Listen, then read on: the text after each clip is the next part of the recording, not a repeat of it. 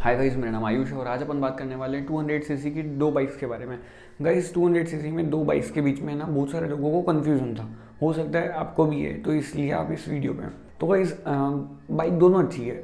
Apache R T R two hundred four V और Pulsar के N S two hundred अब दिक्कत क्या है कि लेनी तो एक है तब कौन सी लें? तो आज ये प्रॉब्लम जो है आपकी सॉल्व कर देते हैं। तो मैंने दोनों बाइक को जो है टेस्ट करा है राइड करके देखा है। उनके जो ऑनर हैं उनसे उनकी जो फीडबैक है वो लिया है। एक दो से नहीं बहुत सारे लोगों से पूछा है सब कुछ समझा है। खुद जो है टेस्ट करके चला के देखिए सब कुछ उनके जो स्पेसिफिक स्पेसिफिकेशंस है माइलेज है जो भी मेंटेनेंस वगैरह उन सभी का रिज़ल्ट जो एक समअप करके ये वीडियो एक छोटी वो रिज़ल्ट मैं इस वीडियो में आपको साथ में शेयर करने वाला हूँ। तो गाइज़ डायरेक्टली बात करते हैं स्पेक्स के बारे में। पहले मैं Bajaj Pulsar N S two hundred के बारे में बात कर लेता हूँ। तो इसके अंदर 199.5 सीसी का लिक्विड कूल्ड इंजन है, जो प्रोड्यूस करता है 23 bhp की power 18.5 newton metre of torque के साथ में। और इसके अंदर जो है सिक्स स्पीड का गियर बॉक्स है। वहीं अब Apache R T R two hundred four V की अगर बात करूँ तो इसके अंदर one ninety nine point two C C का ऑयल कूल्ड इंजन है, जो प्रोड्यूस करता है ट्वेंटी बी एच पी की power eighteen point two newton metre of torque के साथ में। और इसके अंदर जो है फाइव स्पीड का मैनुअल गेयर बॉक्स है। तो पावर जो है एन एस टू हंड्रेड की ज़्यादा है। अब बात करते हैं माइलेज की, क्योंकि ये पहले सारी चीज़ें जो आपको क्लियर हो जाएगी तो आपको जो है आगे डिसाइड करने में आसानी रहेगी, आपके लिए कौन से बेस्ट है। तो मैंने ये जो है ना टेस्ट करा है खुद से, और जिन्होंने चलाई है, उनसे भी पर्सनली टेस्ट करा है। फिर जो एवरेज माइलेज निकला है मतलब कि लगभग ऑलमोस्ट सभी लोगों ने कितना बताया है। तो Pulsar N S two hundred का माइलेज जो ओवरऑल है सिटी में भी हाईवे पे भी बम्पर टू बम्पर ट्रैफ़िक में भी, इन सभी जगह 35 किलोमीटर पर लीटर का माइलेज जो है Pulsar N S two hundred ने दिया है। और वही सभी जगह टेस्टिंग में जो है Apache R T R two hundred four V ने जो है 32 किलोमीटर पर लीटर का माइलेज दिया तो माइलेज में भी जो है पल्सर थोड़ी सी आगे है। और इसके अंदर जो है दोनों में 12 लीटर का फ्यूल टैंक है और 2 लीटर का जो है रिज़र्व लगता है इसके अंदर Pulsar N S two hundred में और जो 2.5 लीटर का रिज़र्व है टू हंड्रेड फोर वी के अंदर।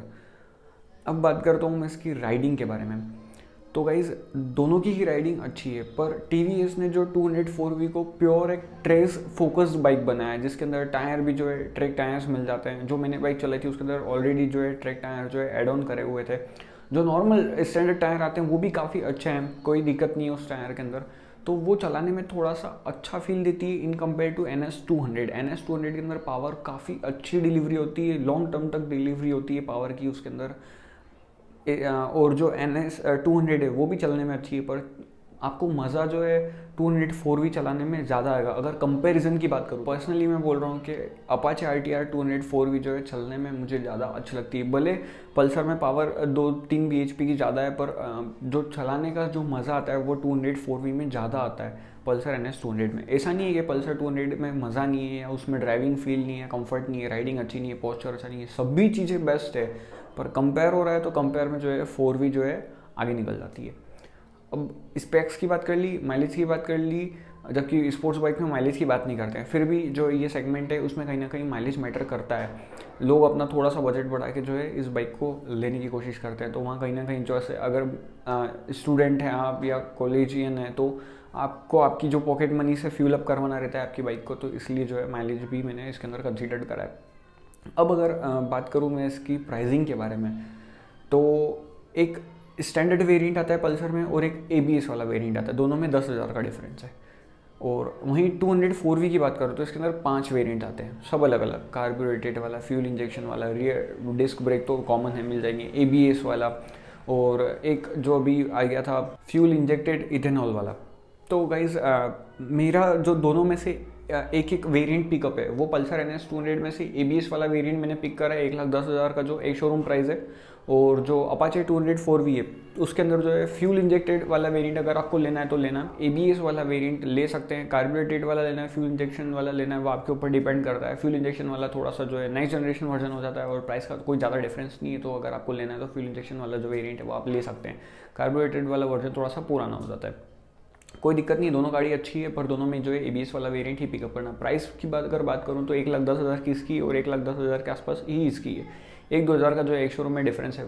पर आप कहाँ रहते हैं, उसके ऊपर डिपेंड करता है। सिटी वाइज जो है प्राइस बहुत सारी डिफर करती है। एक शोरूम प्राइस भी डिफर करती है और ऑन रोड प्राइस भी डिफर करती है। तो डिपेंड्स अपॉन यू तो प्राइस में कोई ज़्यादा वो डिफरेंस नहीं, दस पंद्रह हज़ार का डिफरेंस होता तो फिर अपने को उसके अंदर भी कंपेयर करना पड़ता है। पर प्राइस लगभग सेम है। तो अब बात करता हूँ, आपको कौन सी बाइक लेनी चाहिए? कंक्लूजन पे आते हैं। तो दोनों बाइक बेस्ट है, दोनों ट्राइड एंड टेस्टेड है। अगर पल्सर लेनी है तो वो क्यों लेनी है? पल्सर आप तब लीजिएगा जब आपको एक मस्कुलर डिज़ाइन की बाइक चाहिए ऑल राउंडर चाहिए, आप जहाँ सिटी में ट्रैक पे सभी जगह चला सकें।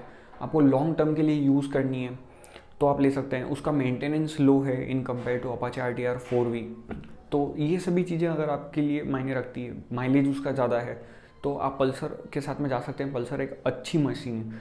कोई दिक्कत नहीं है, उसके अंदर एबीएस अवेलेबल है रियर डिस्क ब्रेक अवेलेबल है, उसके टायर्स भी अच्छे हैं और जो सीटिंग राइडिंग वगैरह सभी चीज़ें अच्छी है। पर वहीं आपको जो नेक्स्ट अगर मैं बात करूँ टू हंड्रेड फोर वी की तो एक नया लुक मिल जाता है, नई डिज़ाइन मिल जाती है, नया अपडेट मिल जाता है, बहुत सारे ऐसे फीचर्स मिल जाते हैं जो Pulsar N S two hundred में अवेलेबल नहीं है। तो उन सभी को अगर आपको कंसिडर्ड करना है तो आप जो है टू हंड्रेड फोर भी ले सकते हैं। पर टू मतलब अपाचे का एक कॉन्स है, बहुत बड़ा है। अपाचे लिमिटेड एडिशन निकाल देता है, बहुत जल्दी बाइक्स के वेरिएंट निकाल देता है। तो कहीं ना कहीं जो इसकी रीसेल वैल्यू है, वो बहुत ज़्यादा कम हो जाती है। प्लस इसके मेंटेनेंस भी जो है बजाज की गाड़ियों से थोड़ा सा ज़्यादा रहता है टी का। इसके पार्ट्स जो है, वो तो अब इजीली अवेलेबल होने लग गए पर आप देख लेना, क्योंकि बजाज के शोरूम तो ऑलमोस्ट मिल जाते हैं। ऐसी ऐसी जगह पे भी जहाँ नॉर्मल टी के नहीं मिलता है। और अगर मिल रही भी है तो भी आप पहले वहाँ पे जो है ट्राई करना है कि टी वी की जो बाइक आप टू हंड्रेड फोर व्हीलर क्योंकि ये भी फ्लैगशिप बाइक चल रही है। फिर उसके ऊपर जो है थ्री टेन आर आ जाती है। तो फिर भी जो है टू हंड्रेड भी एक तरह से फ्लैगशिप मॉडल ही है टीवीएस का तो आप ये सारी चीज़ें एक बार ध्यान रख लेना कि आप जहाँ रहते हैं, वहाँ पे आपको जो है इसके पार्ट्स अवेलेबल हो रहे हैं, नहीं है सर्विस प्रॉपर हो रही है कि नहीं हो रही है।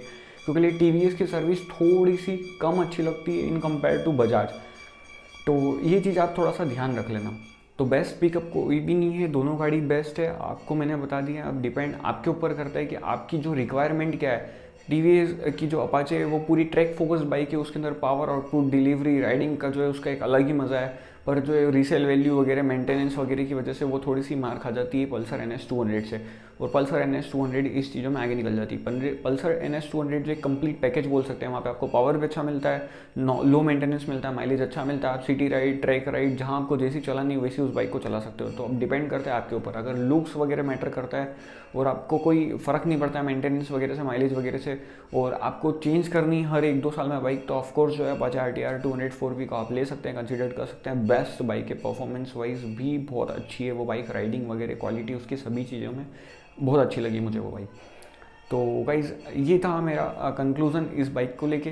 तो ये सारी चीज़ें जो है मैंने आपके साथ में शेयर करी है, बहुत सारी चीज़ें जो है इसके बारे में डाटा इकट्ठा करा है और बहुत मेहनत करी। तो गाइज़ यार, इस प्लीज़ इस वीडियो को लाइक कर देना शेयर कर देना और मेरे चैनल को सब्सक्राइब कर देना। और बेल आइकन का जो बटन है, उसको प्रेस कर देना ताकि रोज़ जब मैं ऐसी वीडियो डालूँ तो आपके पास नोटिफिकेशन आ जाए और कोई भी वीडियो जो है आप मिस नहीं करो। और अगर आपको कुछ भी डाउट ऑटोमोबाइल से रिलेटेड कुछ भी पूछना है कार बाइक स्कूटर से रिलेटेड तो नीचे कमेंट कर देना है मेरे सोशल मीडियाज़ के लिंक मैंने नीचे डिस्क्रिप्शन में दिया है वहाँ के आप मुझे ज्वाइन कर देना। है और एक और चीज़ मैं आपको बता देता हूँ ऑटोमोबाइल से रिलेटेड आपको सारी न्यूज़ इन्फॉर्मेशन ऐसी चाहिए अपनी लैंग्वेज में। तो मेरी वेबसाइट है व्यवस्थित डॉट कॉम वहाँ पर भी आप जाके जो है विज़िट कर सकते हैं। अपनी लैंग्वेज में जो है आपको जो है आर्टिकल्स मिल जाएँगे सारी रोज़ की रोज़ न्यूज़ मिल जाएगी अपडेट्स मिल जाएँगे टिप्स एंड ट्रिक्स मिल जाएगी जो कि आपके लिए पढ़ने में भी आसान रहेगा और जल्दी से जल्दी आपको समझ में आ जाएगा। तो गाइज़ कल तक की वीडियो के लिए friends bye have a nice day और हाँ फ्रेंड्स ड्राइव सेफ़